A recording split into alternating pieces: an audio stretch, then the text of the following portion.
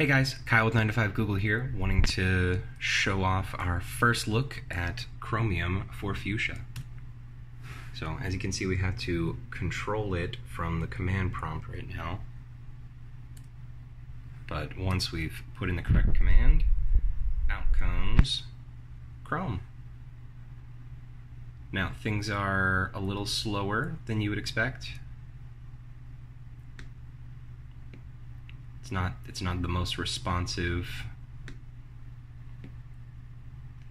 The key the, the mouse is very touchy and pages can be a little bit slow.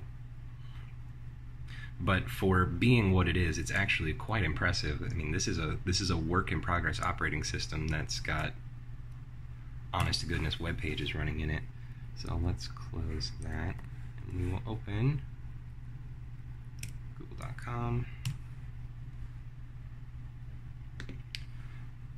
and there's actually some really impressive things that this can do.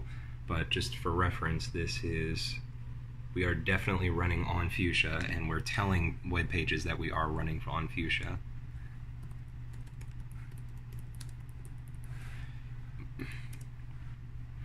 But most interestingly, YouTube videos actually work, which I was honestly not expecting to happen. Uh, of course, for right now, sound is not available in YouTube videos or in a general sense, but to be able to have a video running at a decent frame rate is actually really impressive to me.